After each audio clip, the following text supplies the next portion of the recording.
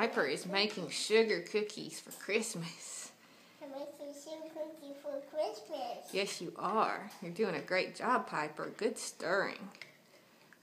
Great stirring, Piper. You're doing great. Good cooking. Can you look here? Look at Mama.